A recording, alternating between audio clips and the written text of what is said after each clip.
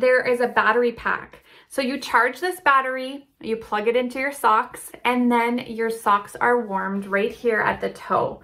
So all around here, you're gonna have a warm foot. It's going to make winter better.